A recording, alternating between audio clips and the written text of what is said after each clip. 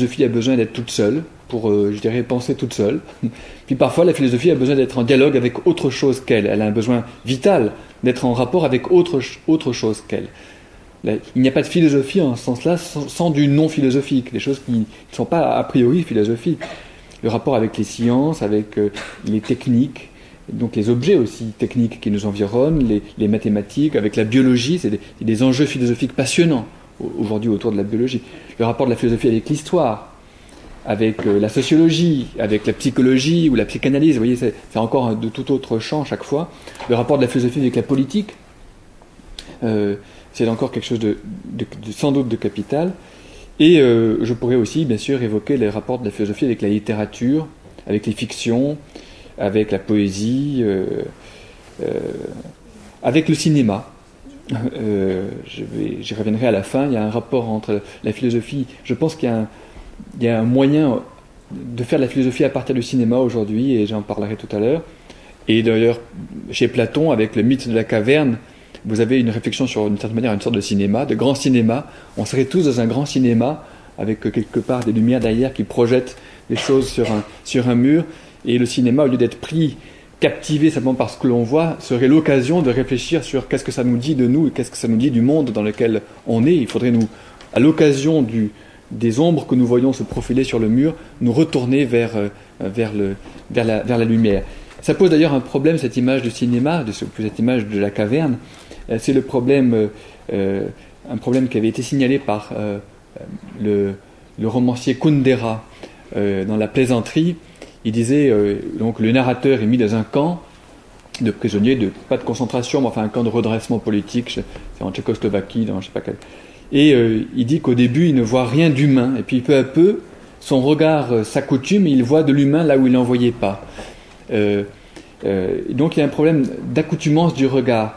Et une autre philosophe que je, cite parfois, que je citerai un petit peu, qui s'appelle Anna Arendt, a écrit un, un texte qui s'intitule Men in Dark Times, les hommes dans des sombres temps, dans des temps sombres, et dans lequel elle dit justement ce problème-là. C'est comment, à la sortie de la dernière guerre, comment on pouvait revenir à, la lumière du monde ordinaire sans être complètement ébloui, sans justement du coup opposer simplement les lumières d'un côté puis les ténèbres de l'autre, voire dans, nous accoutumer à la ténèbre pour voir, pour voir à travers la pénombre et aussi nous accoutumer à la lumière pour voir à travers les lumières. Je ne sais pas comment ne pas être complètement ébloui. Eh bien, je dirais que c'est aussi un problème que nous avons avec le, avec le mythe. Et euh, ce serait peut-être la dernière source non philosophique de, la philosophie, le rapport de la philosophie, disons déjà avec le, la religion, un rapport très particulier, ou avec les, les religions ou les mythes primitifs. D'une certaine manière, toute la philosophie avant Socrate, les Thalès de Milet, les Parménides, les Héraclites, je ne sais pas si vous en avez entendu parler, sont des, des sages qui ont une sorte de rapport presque euh, en même temps, c'est presque des, pas des prophètes, mais oui des sages au sens où on trouve des sages dans le texte biblique, l'Ecclésiaste, euh, les psaumes, euh, les proverbes. Vous voyez, il y a quelque chose comme une sorte de sagesse éternelle, une sorte de sagesse avec des, des, réflexions sur le monde, des réflexions sur la vie. et, et alors, ce qui se passe avec Socrate, avec Platon, c'est un peu particulier, c'est pour ça que je m'arrêterai pas mal sur Platon. C'est que Platon, normalement, il, appartient, de, par sa famille, à une grande dynastie de législateurs, de la famille de Solon, vous voyez, cet législateur d'Athènes. Et donc, euh, c'est presque une, dynastie euh, pontificale, c'est une dynastie presque religieuse. C'est des gens qui ont entre les mains le discours légitime de la cité, les discours légitimes d'Athènes. D'ailleurs, ils descendent de Poséidon, normalement, la famille de Solon. Donc, vous voyez, c'est une dynastie sacrée. Et, euh, eh bien, lui, il essaye d'être il pourrait avoir essayé d'être un sage législateur, mais ça marche pas. Il va à Syracuse trois fois pour proposer des, législations et ça marche pas. Et donc c'est comme si, avec Platon, on avait une sorte de, législateur ou de prophète, mais de prophète qui n'est pas prophète dans son pays en quelque sorte. Il n'y a, plus de cité. La cité grecque s'est écroulée. C'est un citoyen sans cité. Alors c'est comme si du coup la, religion politique, on pourrait dire, qui était la religion des Grecs, je vais y revenir, c'est très important de comprendre que à l'époque des Grecs ou à l'époque des Romains, la religion et la politique c'était la même chose. Hein, euh, à Rome, la preuve que la religion romaine marchait, c'est qu'on avait des victoires. Dieu était avec nous. Les dieux de Rome étaient avec Rome. Il fallait beaucoup de victoires pour montrer que Dieu était, le Dieu de Rome était, les dieux de la cité étaient encore avec nous. Euh, et bien justement, avec Platon, on voit que ça ne marche plus. Il y a quelque chose. Et donc du coup, peut-être que c'est ça la, libération de la possibilité philosophique. C'est, euh, on peut dire, une, une religion qui ne marche plus, une, une religion, un culte de la cité qui ne marche plus et donc qui devient une réflexion, une réflexion libre. Les mythes sont libres, les, mythes donnent, donnent à réfléchir simplement. Je vais d'abord euh, développer quelques figures pour montrer comment est-ce qu'on peut attraper philosophiquement l'importance du mythe, de l'idée du, mythe. J'en vois euh, deux ou trois. La première de ces figures, ce serait la figure de, l'enfance. Euh, l'idée, c'est que la philosophie a besoin du mythe parce que les, humains ont besoin de leur enfance.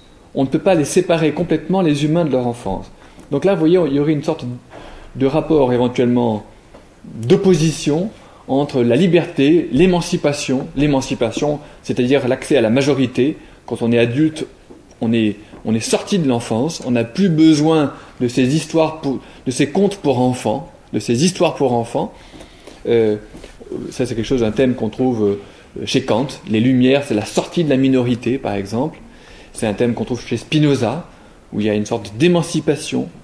Euh, qui, est aussi une séparation du politique par rapport à la religion, d'ailleurs, chez Spinoza. Euh, on le trouve, euh, on le trouve d'ailleurs même chez, l'apôtre Paul, l'idée qu'il faut grandir, il n'y a plus besoin qu'on y croit ou qu'on n'y croit pas, c'est pas important. Il y a des choses qui sont indifférentes. Donc l'idée que la foi, c'est pas l'obéissance à une loi comme si on était sous une sorte d'autorité paternelle. On est adulte, on est libre, on est majeur. Euh, et de l'autre côté, au l'autre bout de, cette, histoire d'émancipation, on arrive avec Freud, par exemple, à l'idée que oui, mais on n'est jamais complètement émancipé.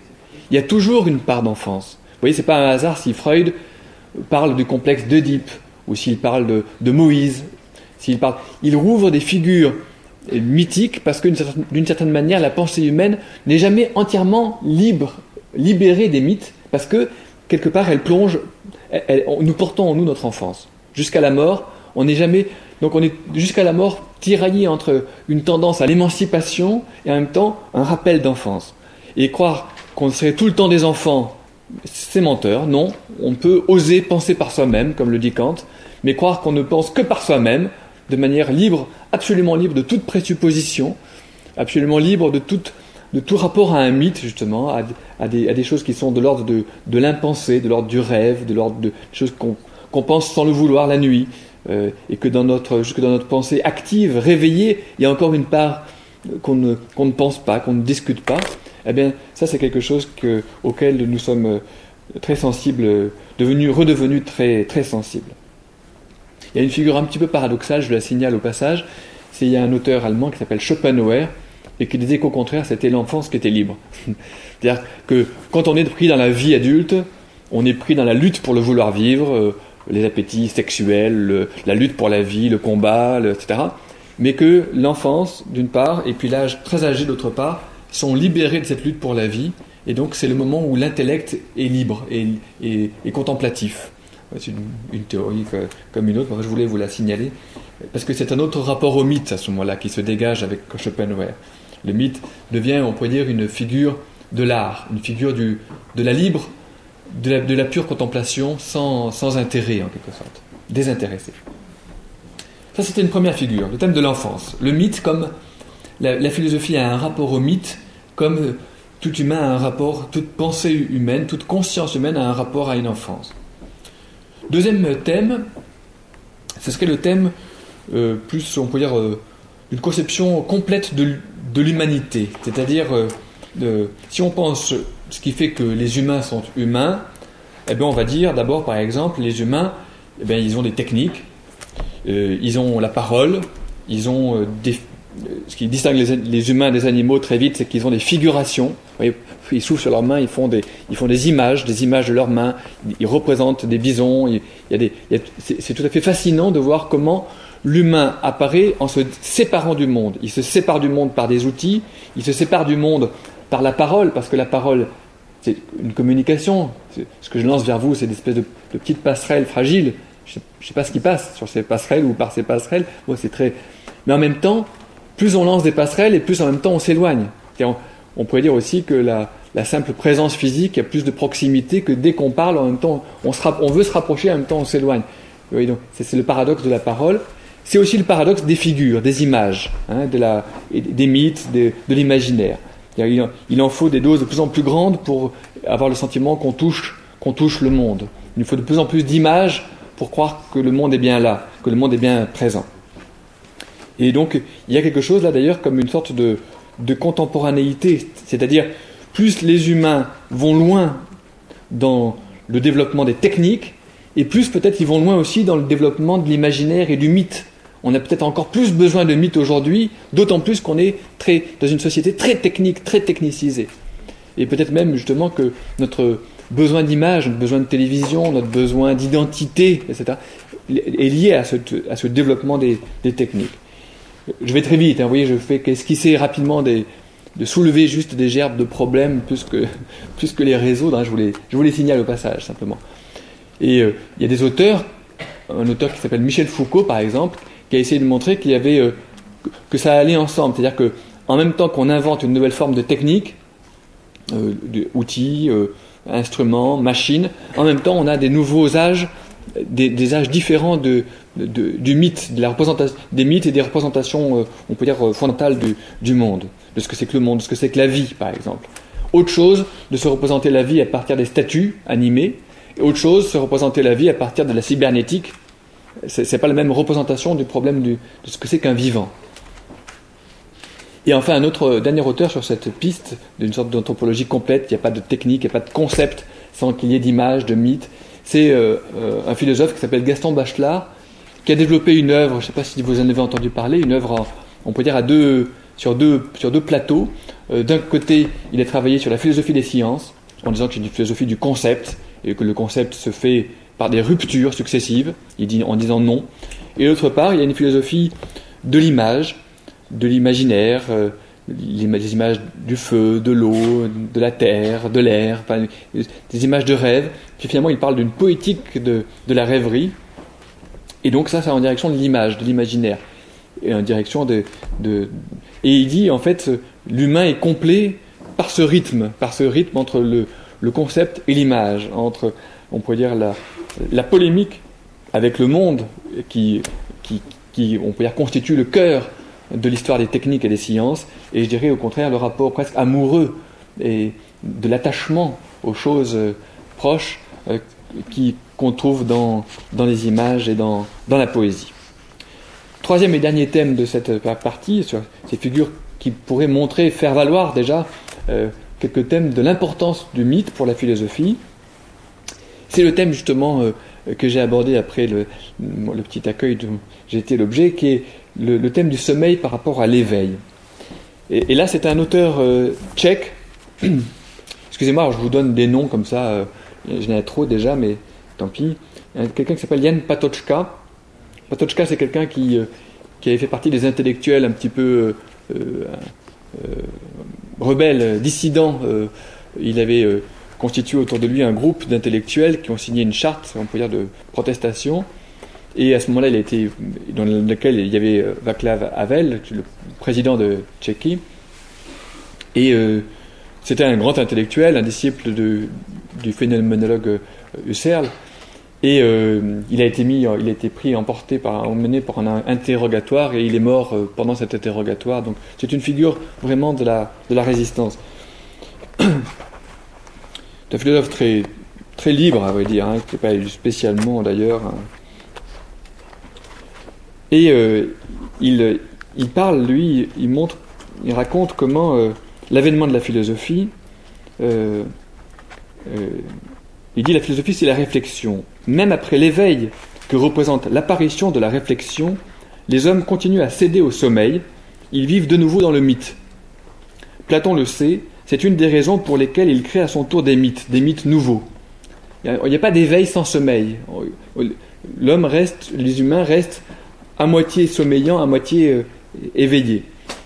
Et euh, les grands mythes que crée Platon, vous savez, c'est les grands mythes euh, qui traversent toute l'histoire de la culture européenne. C'est le mythe de, des idées, on pourrait dire. C'est le mythe de la cité, la, cité presque de la cité de Dieu, presque l'utopie. Hein. Je, vous dis ça en gros, parce que c'est des images très, très, très discutables de Platon, mais c'est comme ça que, en tout cas, nous les, nous les voyons. Sans qu'il le veuille ou non, Platon, en écrivant des mythes, il a quelque part contribué à l'imaginaire commun de l'Europe, la théorie des idées, la cité de la République, euh, l'idée de l'âme, de l'immortalité de l'âme qui serait jugée. Vous savez, je vais y revenir que l'idée du jugement dernier, d'un tribunal devant lequel les âmes passent, c'est pas du tout une idée chrétienne, c'est une idée qui vient de, Platon. Donc, vous voyez, Platon, il invente des mythes qui sont les mythes de l'Europe. Et euh, je dis tout de suite, je signale tout de suite que le rapport au mythe est un rapport passif. On vous raconte un mythe, c'est comme vous voyez, vous allez au cinéma voir un film. On ne vous demande pas de croire au film auquel vous, que vous voyez. Ce n'est pas un problème de croyance ou pas croyance. Vous le voyez, ça vous fait vous dire des choses ou pas. Bon, le mythe c'est pareil. On ne vous demande pas de croire à un mythe. C'est pour que le mythe c'est un, petit peu différent de la religion. la religion quand même, en principe, je crois que c'est une erreur d'ailleurs, mais c'est devenu comme ça. C'est quelque chose à quoi on croit ou on ne croit pas. Et donc, euh, Patochka a, beaucoup réfléchi sur, cette, euh, sur cette, ce rapport de la philosophie avec le mythe.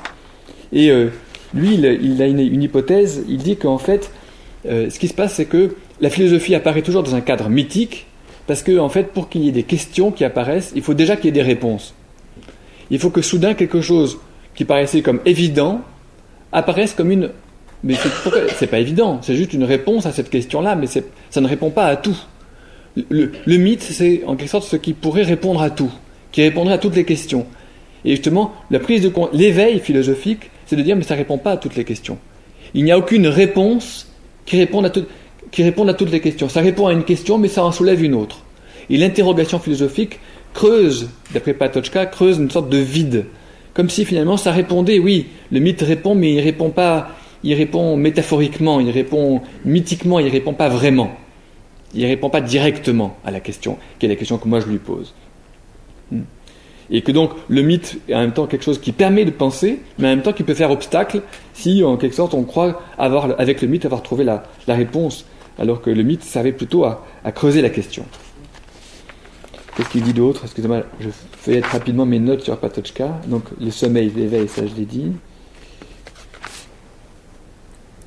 où il dit que ce n'est pas une question de croyance. Ça se voit très bien chez, dans sa lecture de Platon. Il montre que dans l'apologie de Socrate, un des dialogues de Platon, euh, il n'y a pas de mythe sur, l'immortalité de l'âme. Il n'y a, rien après la mort. Alors que dans le Phédon, il y a une immortalité. Et euh, il, y a une, sorte de pari, il y a un mythe de l'histoire de l'immortalité de l'âme.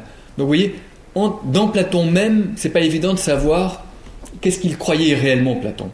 Hein, il y a une sorte d'hésitation, il écrit ça ici, il écrit ça là. Est-ce que c'est une évolution? C'est peut-être trop facile de, tout mettre, toujours mettre les choses dans une évolution. Avant, il n'y croyait pas, puis il y croyait, ou bien avant, il y croyait, puis il n'y croyait pas. Non, il faut penser peut-être les deux choses en même temps. Il y croit et il n'y croit pas. Vous savez, les, les, conteurs, les conteurs de, Majorque euh, terminent leur, euh, leur, récit en disant euh, ainsi, je traduis en français, ainsi c'était et ce n'était pas. C'est-à-dire un conte, une fiction, c'était à la fois comme ça et ce n'était pas comme ça. On y croit et on n'y croit pas, ou on n'y croit pas et on y croit. On n'y croit pas de la même manière qu'on croirait si je vous dis que, qu'il a arrêté de neiger, je ne sais pas si c'est vrai d'ailleurs.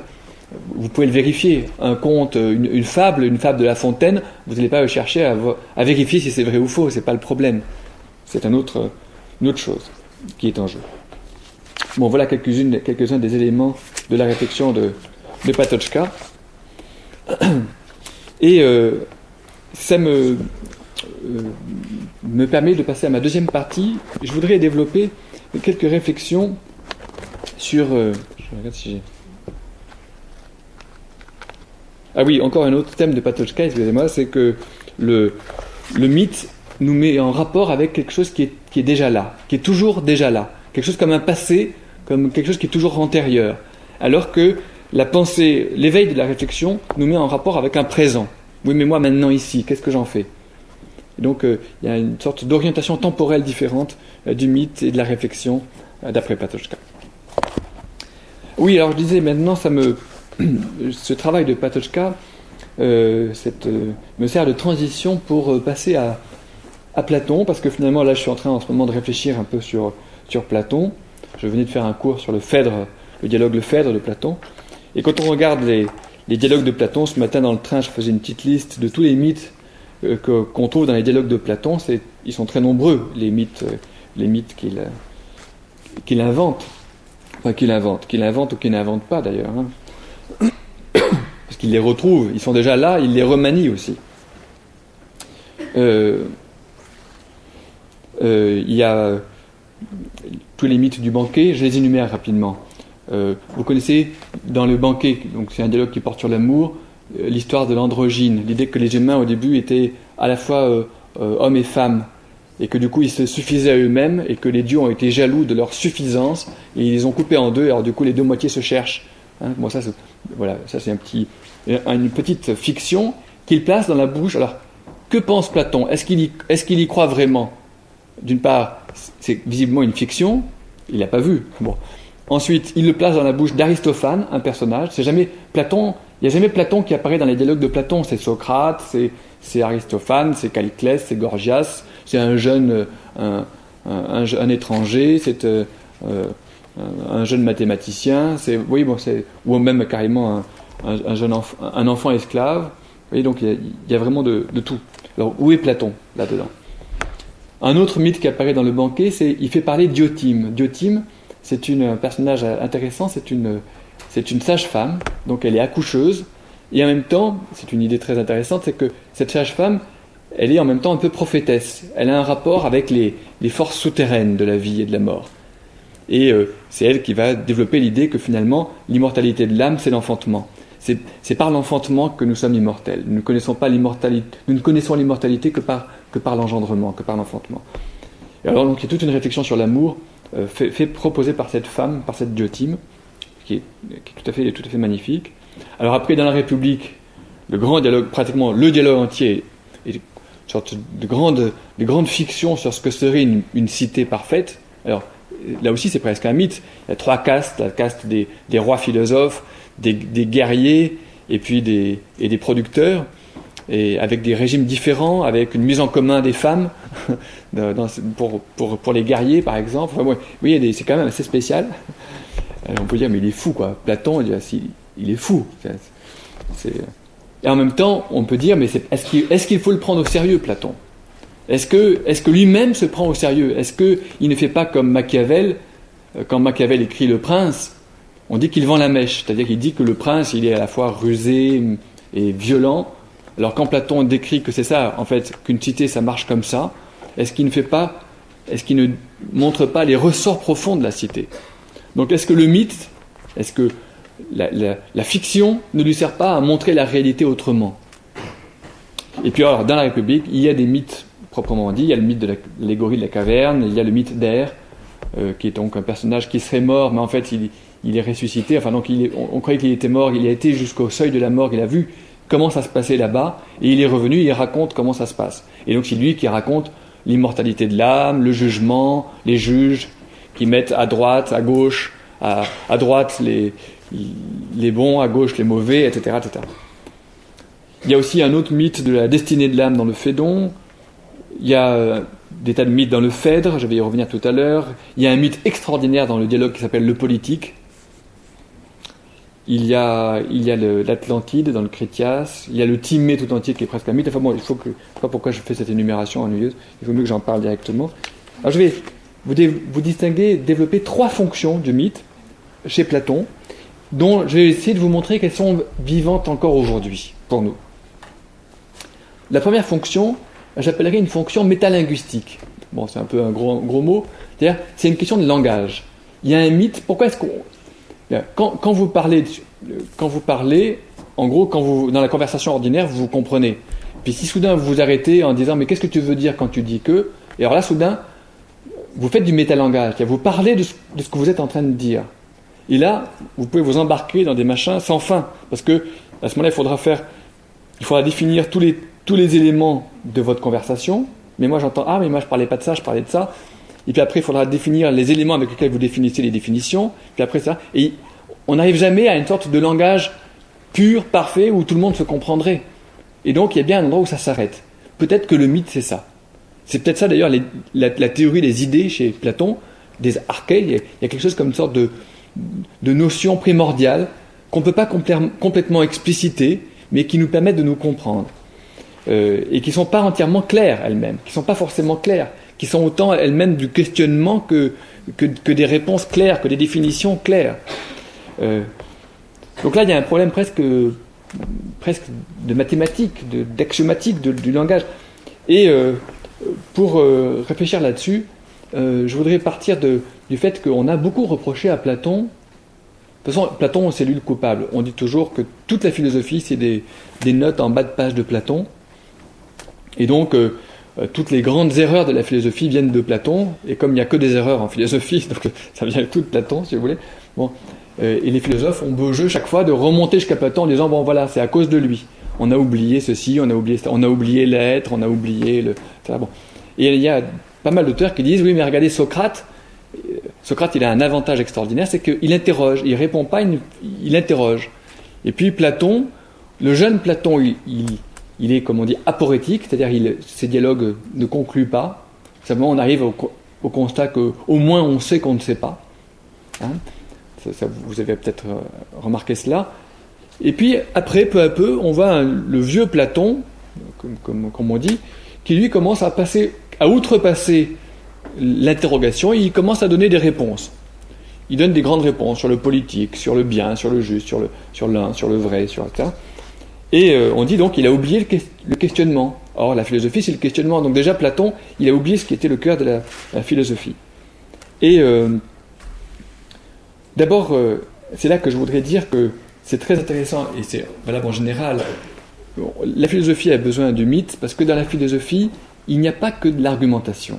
C'est une tête très discutable, peut-être que vos professeurs de philosophie ne seront pas du tout d'accord avec ce que je dis, mais je pense que dans la philosophie, il y a une part de discussion, d'argumentation soigneuse, mais il y a une part aussi qui peut être de l'ordre de, la métaphore. On va prendre un modèle. Prenons l'exemple de, par exemple, Platon, quand il va parler du politique, va prendre l'exemple du tisserand. Comme si le politique, l'homme politique était un tisserand, hein, l'homme d'État était un tisserand. Euh, il va prendre des, il y aura des ironies, il y aura des invocations ils vont, parler, ils vont faire des invocations à des divinités locales, à des nymphes, à des, muses, à des, etc. Il va y avoir des fictions, il va y avoir des fables, il va y avoir des mythes, il va y avoir des récits, il va y avoir des conversations rapportées. Oui, mais un tel me disait que. Oui, donc la philosophie chez Platon, elle est très, très, très. Euh, c'est comme une pièce de théâtre. Elle fait appel à toutes sortes de, langues, de, de genres de langage, de genres littéraires différents. Hein, euh, euh, euh, et, parmi ces genres littéraires, il y, a des, mythes. Alors on pourrait dire que les mythes sont des réponses. Là où on ne pouvait pas parler, ah on va continuer à parler par un mythe. Je vous prends un exemple dans le politique, le mythe du dialogue qui s'appelle le politique. Eh bien, ça commence comme ça. Eh bien, nous devons alors reprendre notre marche avec un autre point de départ et sur une autre route.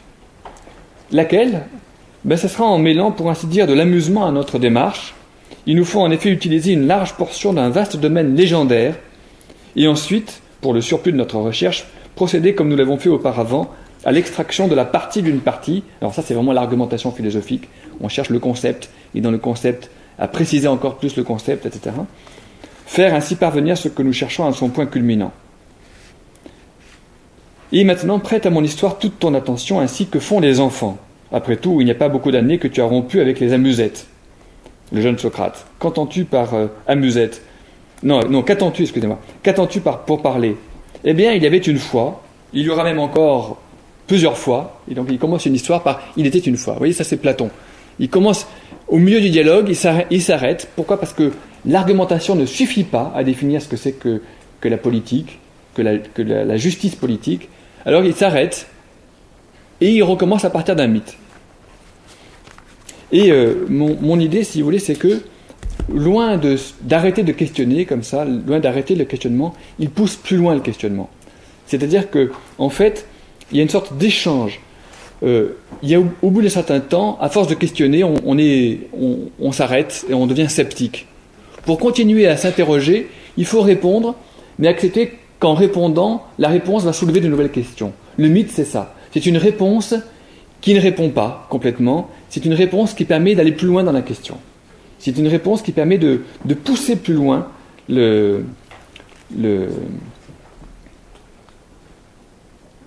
réflexion. Il y a là d'ailleurs quelque chose qui montre que le, mythe se rapproche d'une certaine manière d'un jeu, comme un exercice. Dans le Phèdre, excusez-moi, je cherche ce passage très amusant. Il, invente encore une histoire. Phèdre d'ailleurs va lui dire euh, Ça ne te coûte pas grand-chose, Socrate, de composer des discours égyptiens comme de n'importe quel pays, on dirait. Et alors à ce moment-là, Socrate répond Les prêtres du temple de Zeus à Dodone ont bien dit que c'est d'un chêne que sont sorties les premières prophéties. Ainsi, les gens de ce temps-là, parce qu'ils n'étaient pas des savants comme vous autres, les modernes, se contentaient dans leur naïveté d'écouter la voix d'un chêne ou même d'un caillou, pourvu seulement que cette voix fût véridique. Vous voyez, on peut n'importe quoi peut parler juste si ce qu'il dit est intéressant. Si on peut tirer quelque chose de juste, de, de c'est pas la peine que ce soit forcément quelqu'un de très savant qui, qui parle. à ce moment-là, Fred dit bon, d'accord, tu as raison. Donc ça veut dire on peut, on peut apprendre autant d'un mythe, même d'un mythe apparemment d'une fable, d'une histoire de bonne femme, comme on dit, que, que d'un discours très savant.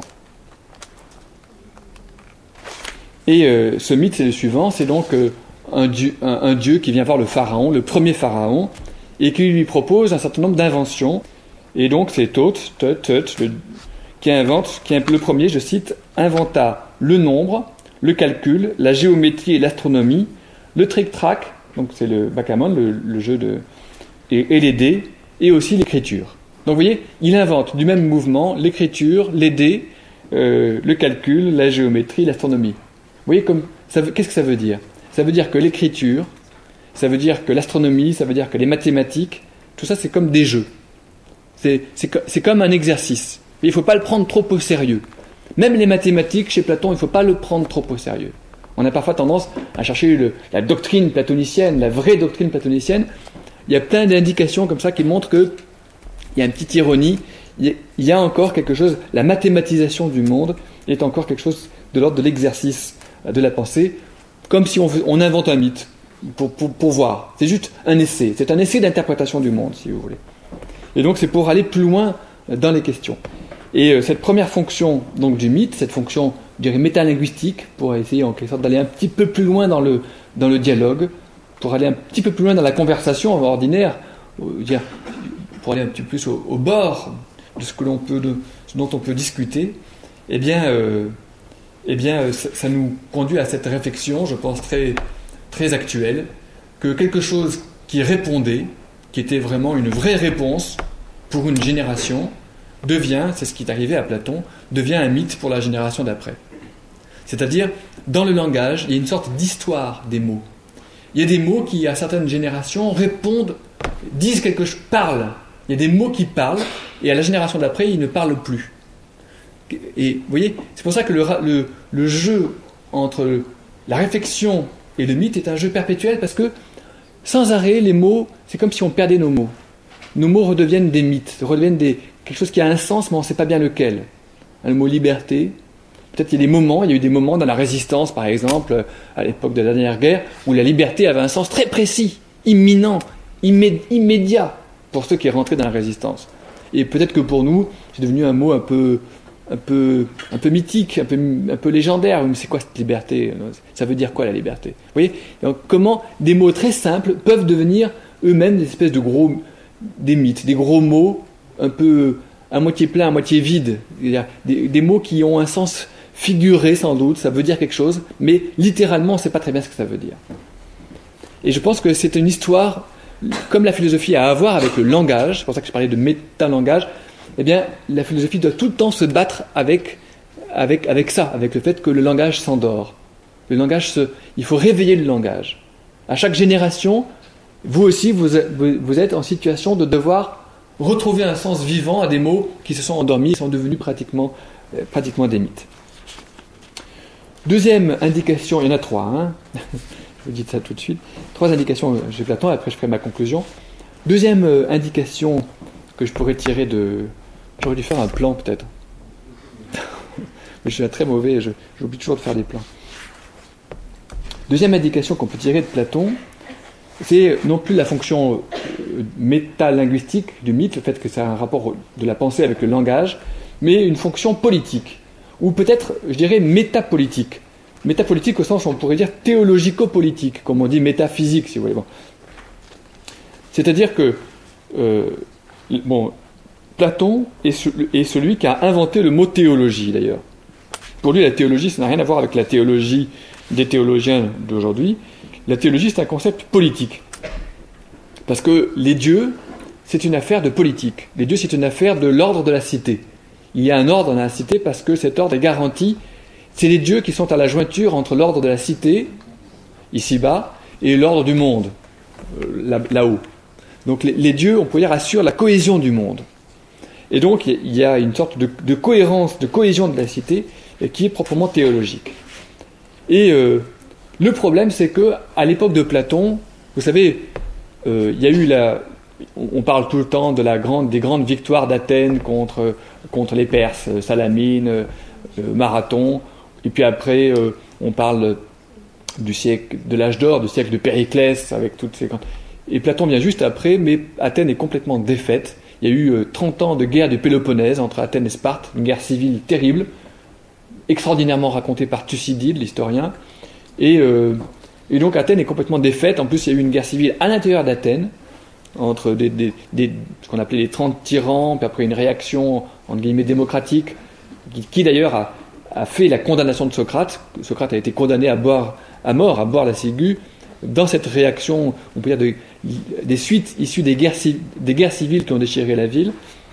Et donc, euh, Platon est occupé par cette espèce d'effondrement politique, et donc on ne peut plus croire que Athéna euh, veille sur Athènes. Athéna devient métaphorique, devient elle-même un mythe. Les dieux de la cité deviennent des mythes, vous voyez. On n'y croit plus, ils ne sont plus là réellement, on le voit bien qu'ils ne sont plus là. Et euh, donc, Platon invente des mythes. D'abord, premier mythe, c'est comme s'il avait besoin politiquement d'inventer l'idée d'un jugement dernier. Le problème est le suivant. Si, euh, qu'est-ce qui fait qu'on va être un, bon citoyen?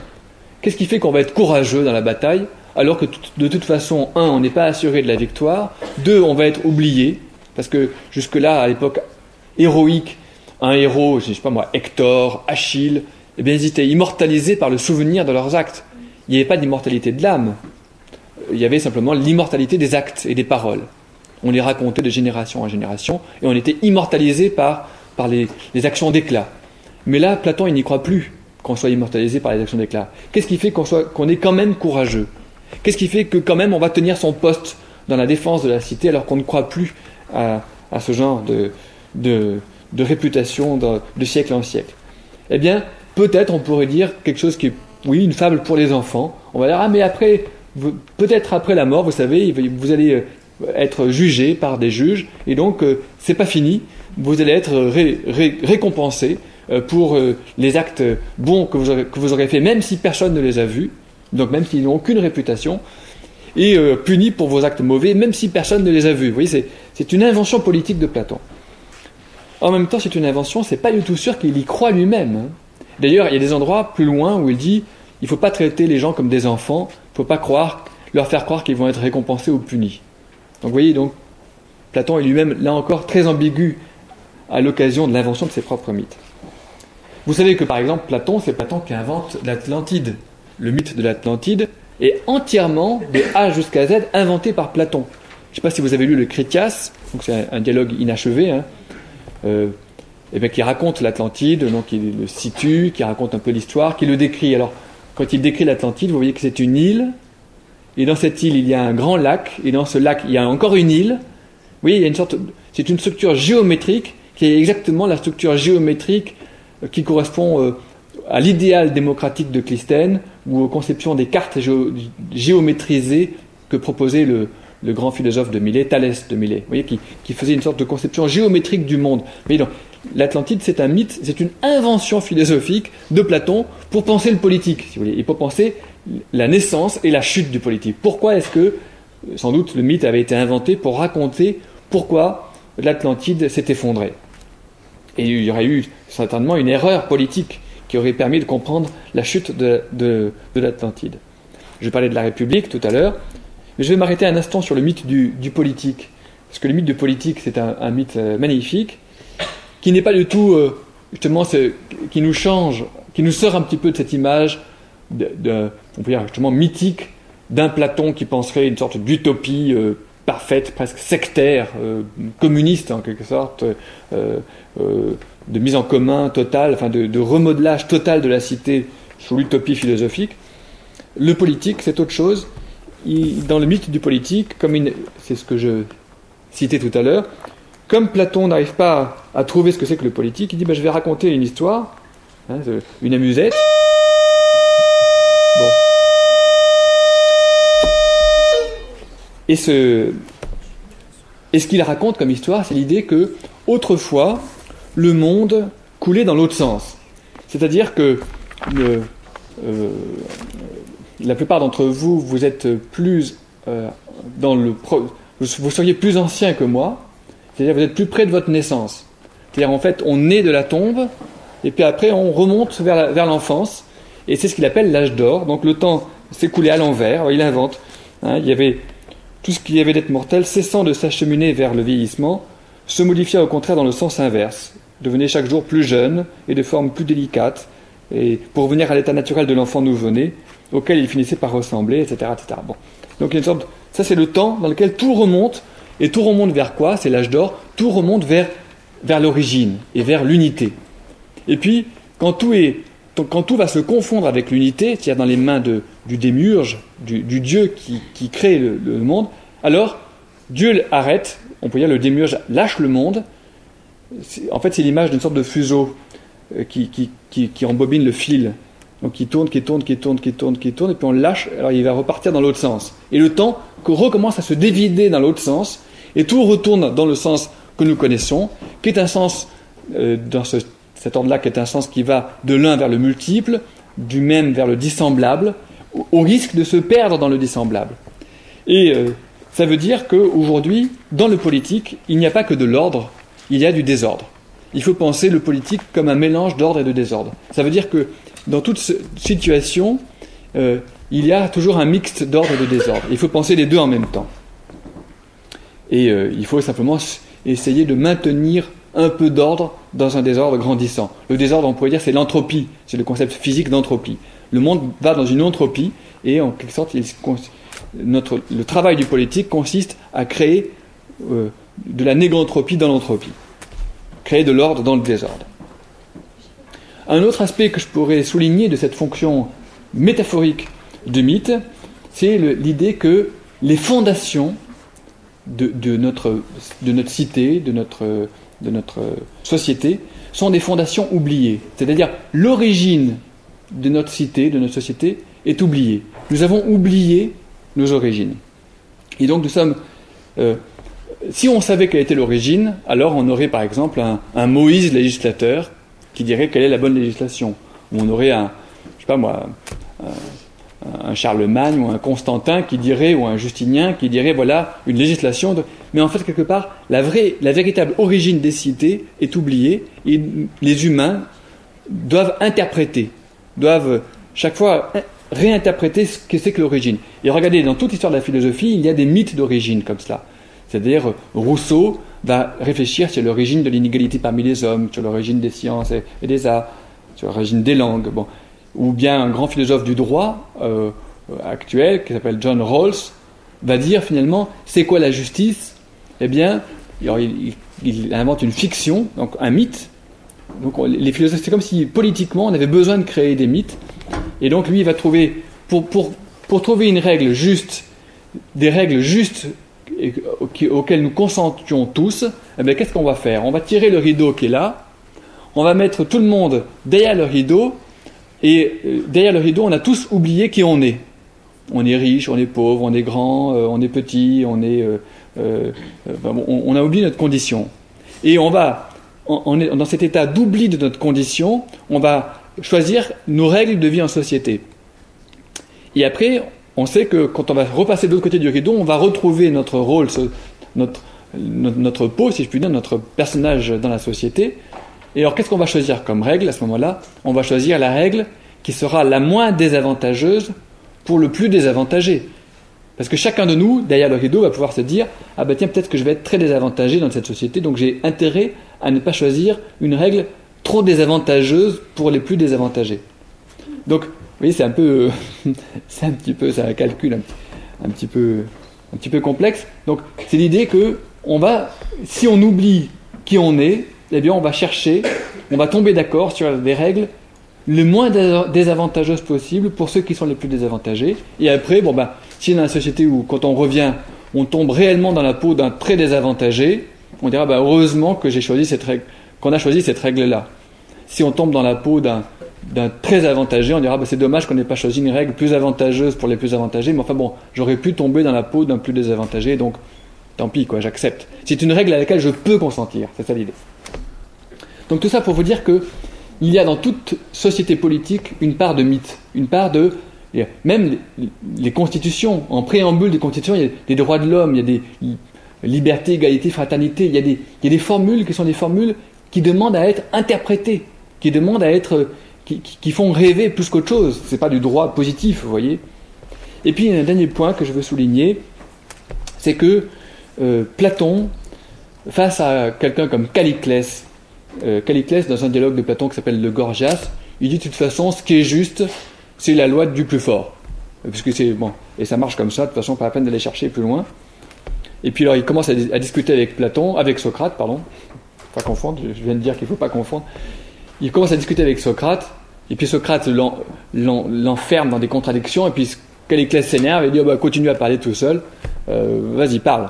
Euh, moi, j'ai pas envie de, discuter avec toi, ça, c'est inutile, ça m'ennuie, etc. Oui, c'est très intéressant pour la philosophie. Le, dialogue avec euh, Caliclès, de Socrate avec Caliclès, est très intéressant pour la philosophie parce que c'est une situation dans laquelle les philosophes se trouvent, euh, cause toujours, de toute façon, tes, tes arguments, pour moi, je n'ai rien à battre. Bon. Et à ce moment-là, euh, euh, on pourrait dire que, que penser que Socrate va se taire. Et Socrate, d'abord, il continue à argumenter, à pinailler sur les mots. Vraiment, il est agaçant, on voit bien que ça sert à rien, quoi. Et puis soudain, à la fin, il, part dans un grand mythe, qui est justement le mythe de la destinée de l'âme. Puis après, après ta mort, Caliclès, qu'est-ce qui va se passer? Et Caliclès ne répond pas d'ailleurs. À la fin, il parle tout seul, Socrate. Il parle tout seul, et d'une certaine manière, euh, on peut très bien dire que Caliclès, là aussi, il n'a rien à en battre de l'histoire de l'immortalité de l'âme que lui raconte Socrate. Mais ce qui m'intéresse, moi, c'est autre chose. C'est, ce qui m'intéresse, c'est ce qui se passe pour la conversation que nous avons tous les jours. Je ne sais pas, moi, si, euh, euh, si vous discutez avec quelqu'un avec qui, finalement, vous découvrez au bout de quelques temps que vous essayez de discuter, mais ce n'est pas la peine de discuter parce que vous n'avez pas du tout les mêmes présuppositions. Donc, normalement, quand on argumente, on argumente, on discute, parce qu'on a quand même des, éléments communs, on partage des idées, on a des idées en commun.